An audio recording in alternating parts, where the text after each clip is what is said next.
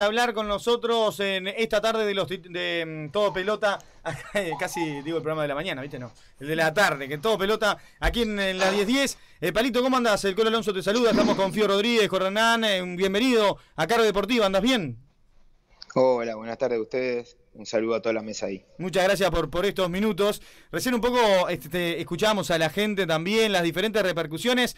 Eh, ¿Te enteraste que, que están reservados Suárez y Cavani? ¿Cómo tomaste esto? Sí, sí, algo leí, algo leí por ahí. Eh, igual eh, estaba esperando la confirmación, porque bueno, viste, a veces cuando se instala un rumor algo por ahí, pero vi en varias portadas como que iban a estar reservados, así que eh, contento, ¿no? Con ellos, porque son amigos, son hermanos de la vida y, obviamente que son jugadores que, que tenerlos es un plus, ¿no? más allá de que los años nos pasan a todos creo que han demostrado tanto Eddie como Luis que, están vigentes. Claro, em, antes de, hablar de, hoy, ¿no? Em, ¿Te pasó esto de, esperar? Antes con, el maestro, en la época del maestro no, pasaba porque los reservados se sabían con tiempo, pero ¿te pasó de estar esperando la, citación con, esa incertidumbre, con esa ansiedad eh, hasta último momento porque tenías la duda si te iban a llamar? Mira, el jugador de fútbol es lo, lo más desconfiado que hay en el planeta, hasta que hasta que no firma antes de salir al partido, puede pasar cualquier cosa, ¿no? Creo que hay que estar, intentar estar preparado para todo. Esto es lo que a mí el fútbol me enseñó eso, de que en, un, en una práctica puede darse vuelta todo y por, e, a, eso voy, ¿no? Aunque es muy dinámico y que siempre pasa, ojalá que no, pero muchas veces sobre la hora eh, se lastima algún jugador o tiene algún problema personal y se baja de la lista y viene otro y capaz que ese otro no estaba en lo convocado y termina jugando los dos partidos eliminatorios, ha pasado. Eh, por eso siempre es muy, muy precavido ese el, jugador de fútbol, ¿no? Y creo que la incertidumbre y todo, bueno, cada entrenador tiene sus métodos y, y bueno, y es respetable, ¿no? Sí, ni hablar. ¿Se bajonea el jugador cuando, cuando no llega la situación y, por ahí se había ilusionado? Eh, ¿Siente el golpe? Y yo no, yo no te lo puedo decir porque gracias a Dios las veces que me han dicho he estado en una lista, ¿no? Claro. Eh, ahí es la realidad es que no tenés cómo, cómo medirlo. Mucha, mucho, eh, mucha gente ha dicho, yo no, no me puedo afiliar a eso y, y además debo ser, si no, no lo puedo ni creer que tener a un jugador como Suárez en el banco es contraproducente, que no, que no, no suma para, para un grupo. Vos fuiste compañero de Luis. ¿Puede eh, Luis aguantar ser suplente en una selección? Mira, el jugador de fútbol está preparado para aportar y sumar del lado que le toque. Obviamente que todos quieren jugar, pero lamentablemente entran 11. Hoy en día tienen la ventaja inclusive de que haya cinco cambios. Antes eran tres y era mucho más difícil o era 18, eh, primero eran 16, después 18, eh, en la convocatoria del partido, ¿no? Te estoy hablando. Después de la pandemia se divirtió un poco a 23, 26, con cinco cambios, con las ventanas, le dio muchas muchas herramientas.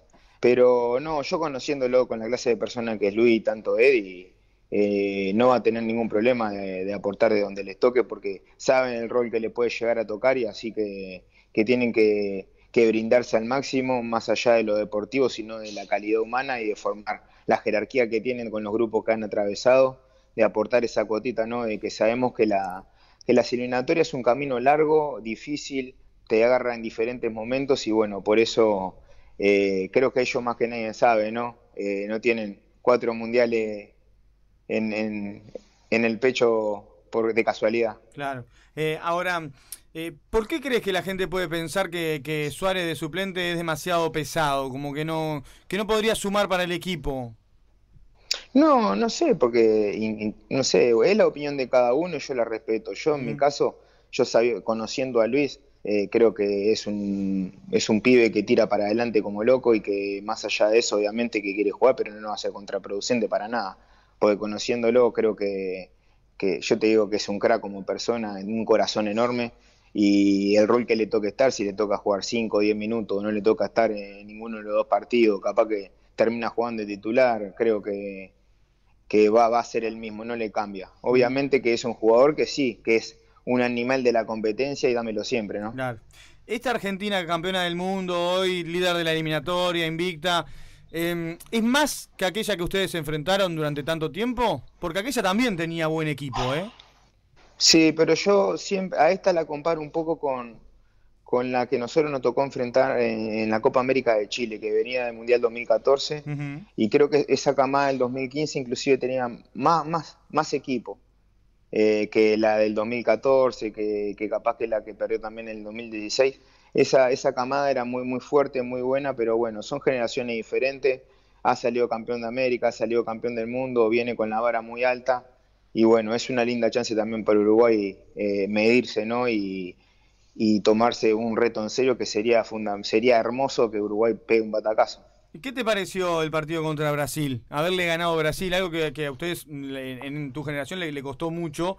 ¿Cómo, cómo viste a, Uruguay en, cómo planificó y cómo le salió el, partido? Yo creo que más allá de eso, la mano de Marcelo se, eh, se va a ver eh, un poco más adelante. Yo insisto con que obviamente corrigió muchas cosas de, de lo que había sucedido con Chile y con, y con Ecuador, pero detalle nada más, porque tanto tiempo no tuvo para trabajar. Eh, inclusive con Colombia creo que hubo el primer tiempo 20, 30 minutos donde me gustó Uruguay, me pareció que se podía haber llevado más. Inclusive con Ecuador para mí es una derrota injusta, pero bueno, los merecimientos en el fútbol dejan, se quedan de lado. Eh, eh, y creo que con Brasil es un partido recontra inteligente y, estuvo bien, estuvo acertado en, buscar por dónde el camino y creo que, tiene grandes jugadores para jugar eh, el esquema o el estilo que quiere, que quiere Bielsa, ¿no? Palito, con respecto a mm, una posible despedida de, de Suárez y de Cavani, yo no lo considero así, pero mucha gente dice que eh, esta convocatoria, o por lo menos eh, esta reserva, después veremos si lo termina convocando tanto a Suárez como a Cavani, este, Marcelo Bielsa, yo calculo que sí, pero mucha gente sostiene de que posiblemente, o por lo menos desde lo que piensan ellos, eh, tanto Suárez como Cavani los podría convocar Bielsa en este caso para que sea una despedida contra Bolivia en el Estadio Centenario. ¿Vos lo ves así o lo ves como que los convoca para irlos preparando, por ejemplo, para la Copa América del año que viene?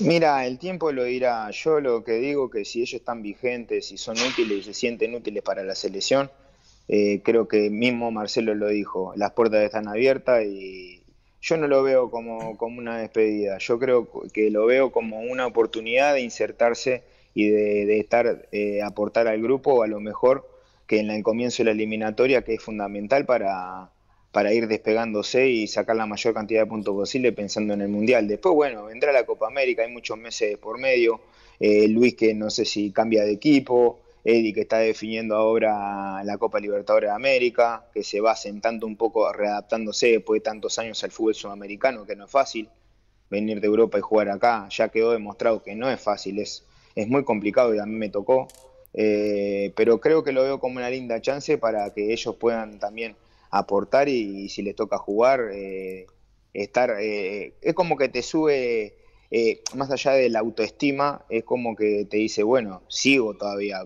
me queda algo para aportarle a la selección. Y son dos imágenes, dos, dos, dos, referentes muy fuertes de, la, última vieja guardia, ¿no? De los que quedan. que sería lindo, sería lindo a mí, yo que sé, por la mitad que tengo y todo lo demás, me gustaría que jueguen hasta que les dé.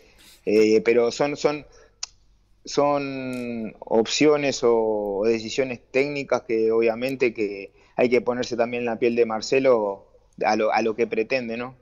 ¿Qué tal? Palito Fiorella te saluda por acá. Em, más allá de lo que obviamente pueden aportar ambos eh, por la jerarquía y la experiencia que tienen, ¿qué crees que le pueden aportar en lo futbolístico, en lo específicamente deportivo a este Uruguay, ellos dos?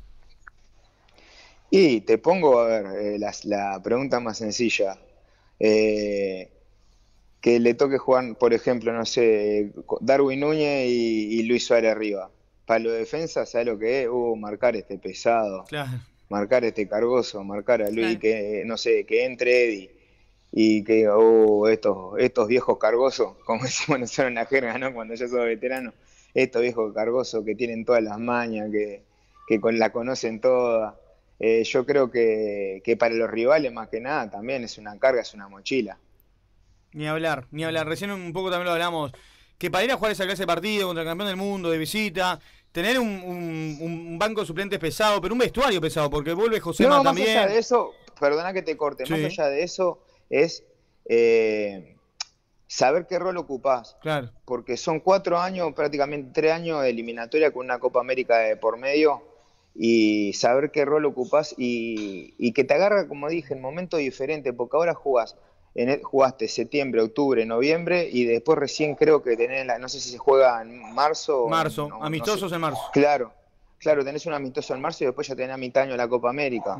Y vos fijate que te queda inclusive dos años más de, eliminatoria y te agarran momentos complicados. Ahora, por suerte, eh, tenemos la chance de recuperar a Ronald Araujo, no sé si Josema ya cumplió la suspensión. Cumplió también. Eh, eh, y tenés miles de variables y eso para un entrenador dámelo siempre. Esa complicación es que decir, pa, ¿a quién convoco? O esto, lo demás, están todos en un buen nivel. Eh, hay chicos que vienen apareciendo. No, no, no, nos olvidemos tampoco que por más que, que no quieren quemar proceso de todos los chicos que salieron campeones del mundo de la sub-20, que varios chicos pueden jugar en cualquier momento y van a explotar en, sus equipos. Otros capaz que pueden llegar a quedar en el camino, pero viene una generación atrás de sub-17, sub-20. Eh, a eso es lo que vengo. Hay una Copa Libertadores Sub-20 que, que, siempre va a algún club. La otra vez le tocó ganarlo a Nacional, le tocó ganar a Peñarol hace, hace un año, dos años. Y creo que todas esas cosas influyen y, el, técnico lo ve. Y conociendo a Marcelo, que igual te rescata un jugador, no sé, que está jugando en Vietnam y, no sabe, es de padre uruguayo, es uruguayo y capaz que la está rompiendo y te aparece jugando en la selección y como acertó con, con el chico eh, Araujo. ¿no? Maxi Araujo. Maxi Araujo. Que todos no lo teníamos en cuenta, que todo parecían. Yo lo, tenía medio junado porque soy un adicto al fútbol, lo, veo, pero no estaba mucho en los planes.